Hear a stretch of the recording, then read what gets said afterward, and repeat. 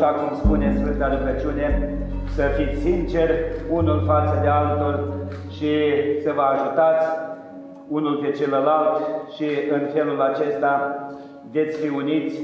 și la bine și la mai puțin bine, vă veți bucura de frumoase realizări pe care dumneavoastră le aveți de acum înainte.